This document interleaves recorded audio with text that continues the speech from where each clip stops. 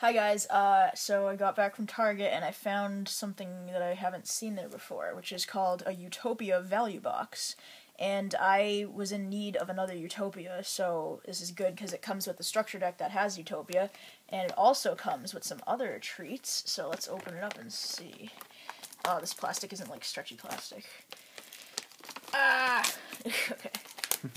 Whoops, sorry. Oh. Sorry. I hit him by accident. Okay. Which way do we do this? Oh, it's like a little tray. Oh, a little that's tray cool. Of goods. It's All like a donut box or something. Donuts. All right. Oh, damn! I don't want to hurt the thing behind it.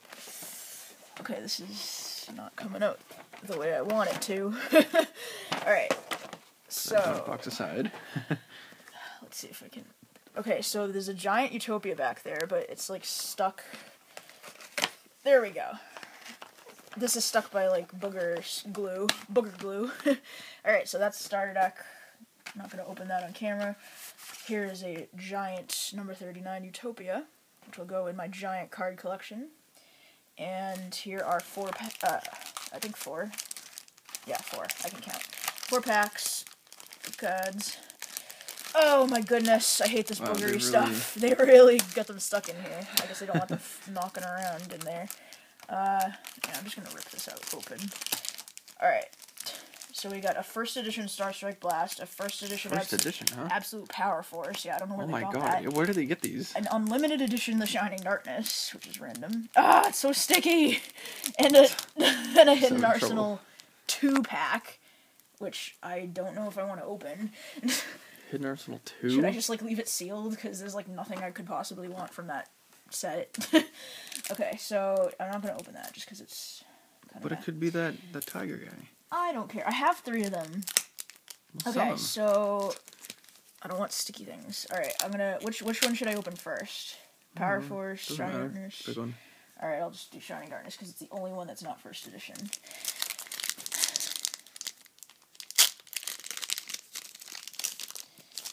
Batteryman Triple A, Black Thunder, Pashul, uh, Magic Triangle, the Ice Barrier, Guard Mines, Palamuro, Lina, Fairy, Archer, and Phantom Hand. How lovely. Alright, Absolute Power Force.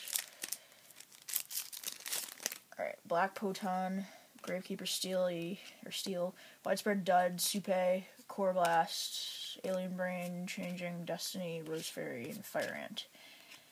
And last but not least, Star Strike Blast.